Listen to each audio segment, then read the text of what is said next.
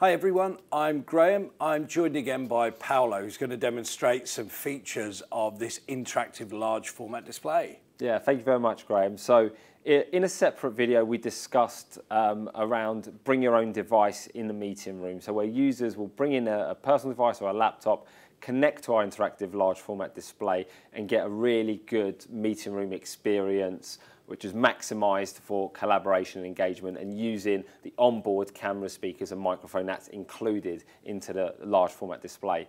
What we're going to do right now is have a look at how we can connect to existing meeting room technologies.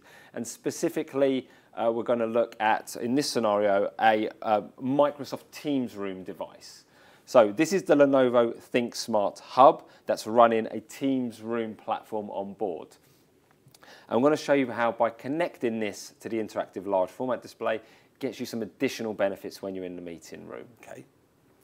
So it's really simple. I say in this scenario, I'm using our ThinkSmart Hub, but we also have um, different meeting room systems that you can have a look at, such as the ThinkSmart One uh, or the ThinkSmart Full Core uh, Room and Control Kit depending on what your, your needs are and depending on what your room sizes are. We also have those in different platforms as well. So say in this scenario, I'm going to use Microsoft Teams because that's what we use.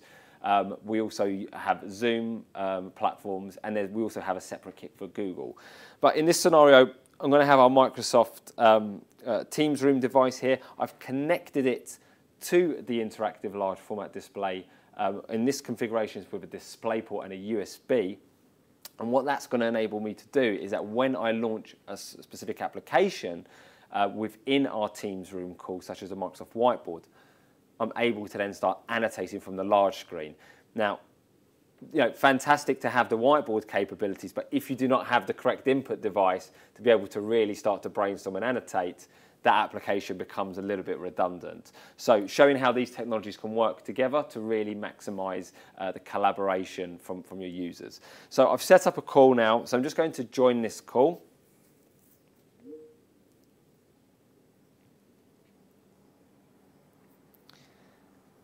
And you can see I'm active on the call there.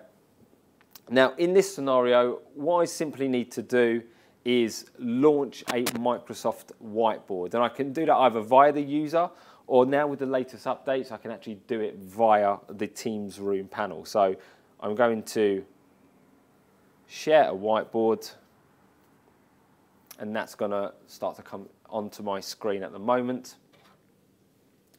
And then in this scenario, as I've configured it up as an additional touch display in the Microsoft Windows settings, I'm able to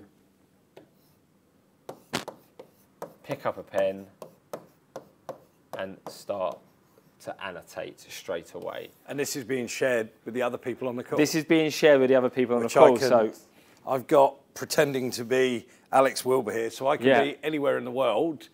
And I'm presuming then that if I was to start on here, I can whiteboard back again?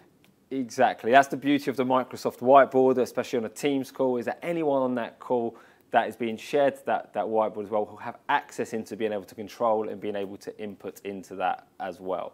So a really nice feature to have from the, uh, uh an interactive display such as the Lenovo ThinkVision connected with a Microsoft Teams Room device to enable that interaction and that touch for the applications like Whiteboard. This is brilliant because not everyone can be present in the room and with hybrid working, there's probably always going to be someone who's not in the office that day. So they get the same experience. This is this is fantastic. Exactly, and it starts to move those conversations around just presenting and presentation. Moves it into conversation where you can go and you can start to collaborate and you can start to input your ideas and co-create together.